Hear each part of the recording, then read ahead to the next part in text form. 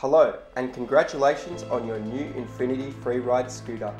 This is just a really quick run through on how to properly attach your T-bar so you can hit the road as soon as possible.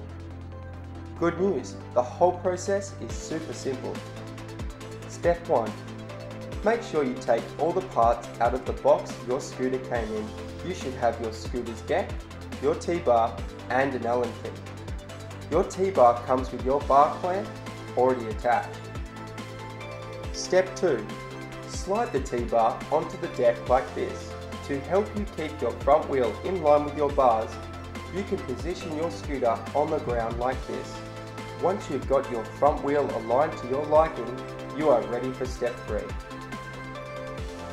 Step 3. Use your supplied Allen key tool to tighten the bolts on your clamp. It's important to know that as you tighten one bolt, it will have a loosening effect on the other bolts on your clamp.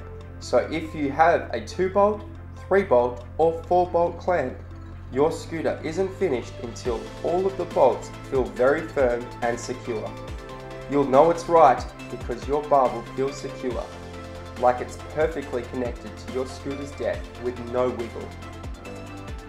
Give the whole scooter one final check and then you're good to go.